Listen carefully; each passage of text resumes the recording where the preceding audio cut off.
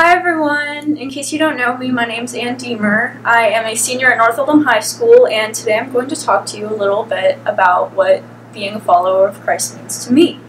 So, I think one of the most important things that you can do to be a follower of Jesus is to give all of your control over your life to Him. Like, you know that story with the fishermen where they're doing their thing and then they just drop everything and they start following Jesus?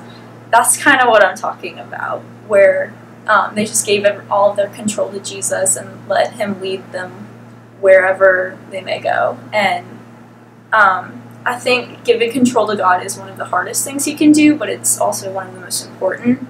And it may lead you to do crazy stuff like that, but it also may lead you to do more simple things like going to youth group, going to church every day, um, having a routine every day that really brings you to your faith closer.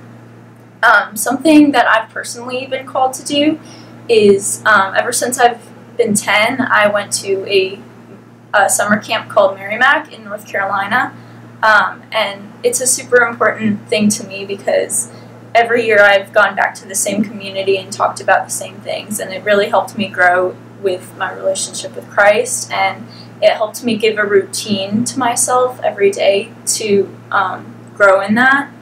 And um, I feel like it's it's really important for you to have that community to be a follower of Christ. And this youth group is a perfect perfect community for you guys to um, be a follower of Christ because it is really helpful when you have other people with you, standing with you, doing the same things, um, struggling with the same things to help be a follower of Christ. And that really is my hope for you guys that you find that community in this youth group, and if not in this youth group, then somewhere else because it's super important for you to have that.